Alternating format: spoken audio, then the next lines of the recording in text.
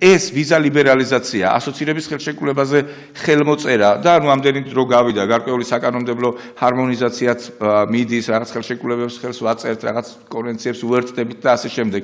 ეს გვაძლევს თუ არა ინვესტიციების გაზრდის თვალსაზრისით რაღაცა პოზიტიური მოლოდინების გაჩენის შესაძლებლობას.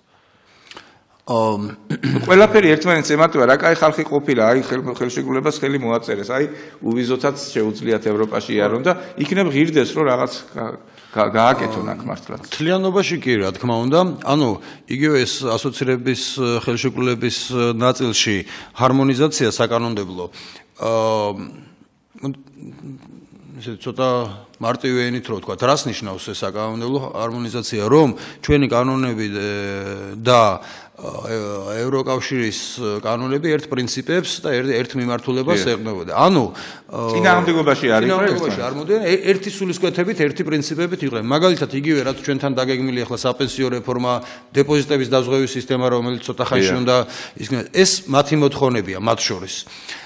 და ამ ხელშეკრულების ნაწილს ამ ხელშეკრულების ასოცირების ხელშეკრულების ნაწილია ასე ვთქვათ. ჯანდაცვის სისტემა, ასე და სოციალური სისტემა.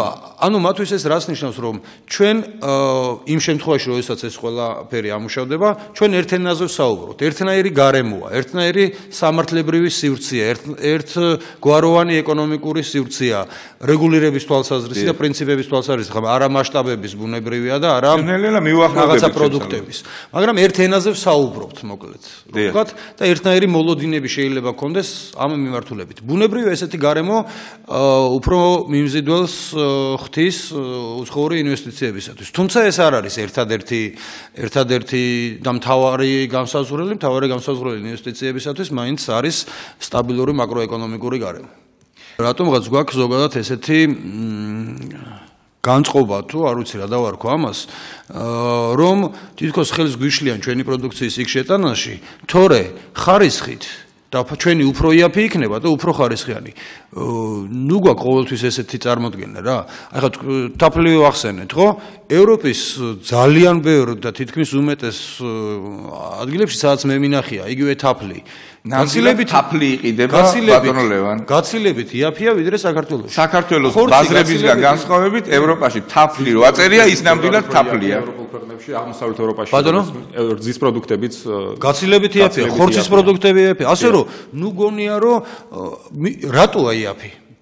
ამასაც დავფიქრეთ, იმიტომ რომ ტექნოლოგიურად და შრომის ნაყოფიერების თვალსაზრისით გაცილებით წინ არიან. აი ეს იგივე ვიზა ლიბერალიზაცია თუ რამეში წაგვადგება, დიდ ნაწილში ამაში უნდა წაგვადგეს, სწორედ, რომ ჩვენ გავეცნოთ ტექნოლოგიებს, იქაური მართვის წესებს, რაღაც კონკრეტული წარმოების თუ ხარისხის თუ ასე შემდეგ მიღწევის საშუალებას. აი ეს იგულისხმეს სწორედ იმაში, რომ საქართველოს ბიზნესმენებს ან მეწარმეებს შესაძლებლობა აქვთ ზედმეტის ავიზო პროცედურების გარეშე ჩავიდნენ, გაიცნონ ადამიანები, რომელსაც მანამდე თქვათ ინტერნეტის საშუალებით Skype-ით და რომლებთანაც დაამყარებენ ურთიერთობას და შემდგომ იქ გაეცნონ იმათ წარმოების პროცესს და ჩამოიყვანონ აქ და შეიძლება ერთობლივი საწარმოებიც გახსნან. ძალიან მნიშვნელოვანია კომუნიკაციის თვალსაზრისით. ერთი რაღაცა ძალიან სერიოზული, როდესაც პროდუქციის ექსპორტზე გატანაზე ვსაუბრობთ, რომ ერთგვაროვანი პროდუქცია გქონდეს. აი მაგალითად სიტყვაზე ვამბობ, აი ჩვენ როგორ შეგხვედრია? ბაზარში იმერული ყველი.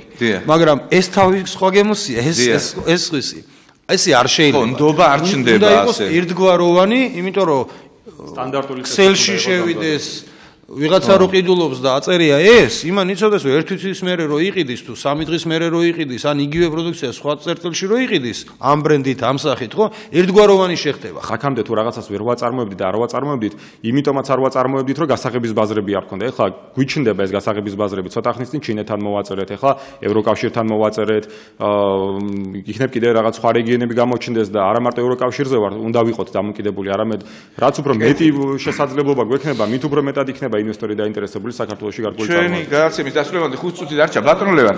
დიახ. აა მარტო ესე ნუ შევხედავთ. აი ისე გვინდა და გვაქვს იმის წარმოქმნა, რომ არიქა და ევროპის ბაზარი უნდა ავიღოთ. ხო, ანუ რო- ავიღოთ ან- ან ყოველ 3 მილიონი ვარ და 500 მილიონია ისი. ეკონომიკურად ექსპორტითო. ყოველ შემთხვევაში სტრატეგიას ვხატავთ აქ დიახ. ჩვენ რომ აი რა სტრატეგიით შევიდეთ როგორ ევროპის დავიწყოთ ბაზარზე. ევროპის ბაზარი? არა, ნუ გავიწყდება, რომ ჩვენი საომხმარებლო პროდუქციის 80% პირიქით იმპორტულია. კი, ჩვენ ჩვენ თვითმფარი არა ვართ. სანამ იქ გავიტანთ რაღაცას, გავიტანოთ ვისაც ამ ეს ხელეწიფება, მაგრამ მოდი ჯერ ადგილობრივი მოთხოვნა დავაკმაყოფილოთ ადგილობრივით. ეს ვერ გაგვიკეთებია ჯერ რა. ბატონ ლევან, ხომ არ იქნება კონკურენცია? ეხლა ბატონმა ვახტანგმაც ხაზი გაუსვა. აკალი დიახ. შემოგვაქვს საქართველოში. ყურძენი შემოდის საქართველოში, ნიორი შემოდის, ქიშმიში შემოდის, ხო? კი. და კიდე ბევრი ყველაფერი სხვა. გამოდის, შემოდის. კიტრი, პამიდორი. ამ დროს ჩვენ გვინდა გავიტანოთ იქ. მოდი ცოტა ამბიციები ამ კუთხით დავიოკოთ და აქ მივხედოთ ჯერ გასაკეთებელს. თუმცა ეს ადვილი საქმე არ იქნება ისედაც.